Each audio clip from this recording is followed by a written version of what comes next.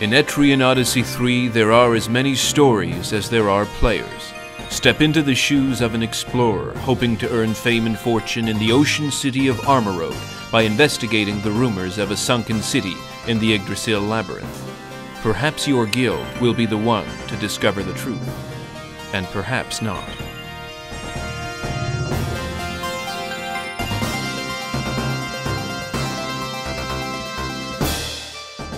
Us guys in the Jackrabbits Guild had a rough day in the labyrinth.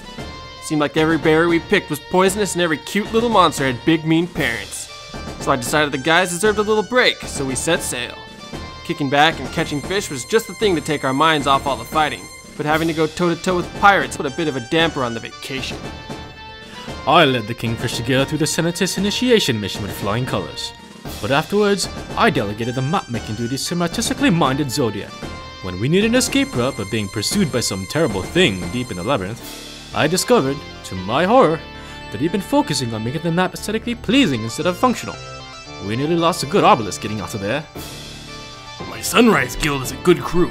I just wish we could keep them focused. We're supposed to be hunting this monster catfish for the Senatus, but they keep getting sidetracked. My monk is always dragging me off to the bistro to see if anyone has any requests that need doing, in hopes that we'll get some nice gear as reward. And my farmer, naturally, is constantly insisting that we need to be gathering more herbs. It's about time I called a guild meeting because I say we're ready now. Mark my words. We're gonna be the ones to down that catfish. And we're gonna be the ones to find that sunken city. In Etrian Odyssey 3, even the narrative is up to the player. What will your story be?